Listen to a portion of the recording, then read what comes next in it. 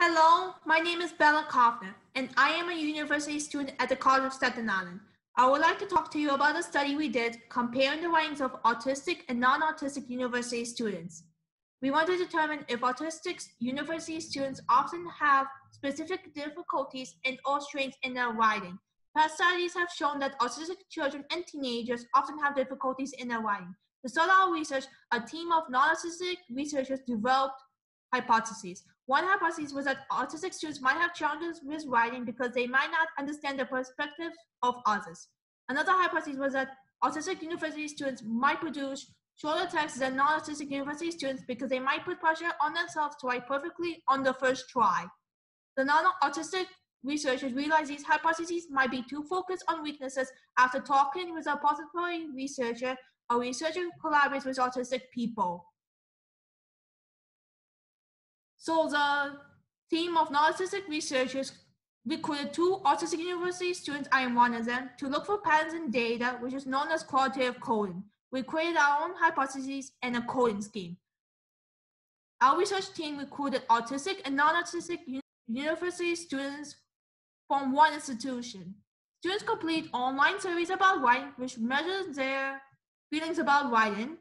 Tests on computers, which included an activity that is assumed to test perspectives, taking ability, a writing activity where students were asked to write a short essay on what they learned in the past two months that they thought was important, and in-person test, which includes a non-verbal intelligence test and a reading comprehension test.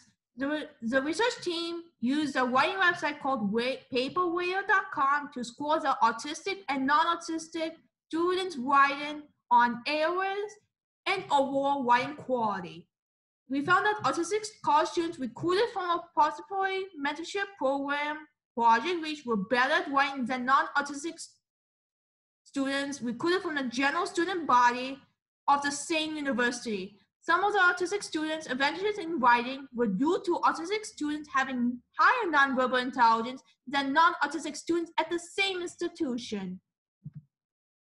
This study also shows that shows that autistic university students who participated in this study had stronger writing skills and higher intelligence than non-autistic university students at, from the same institution. This study also shows that autistic college students put pressure on themselves to make their writing perfect on the first try. So teachers should allow autistic students to to develop their writing through fun and engaging activities to help them focus on the process of writing rather than writing some rather than trying to write something on perfect on the first try.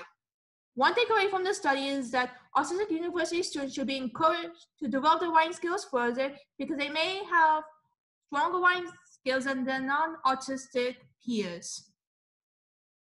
So autistic students should be encouraged to write about their interests on writing assignments. Teachers can allow autistic students to have enough time to write and allow them to use a computer to write if they have difficulties with handwriting. By collaborating with autistic people, we can understand the strengths that can help autistic people succeed.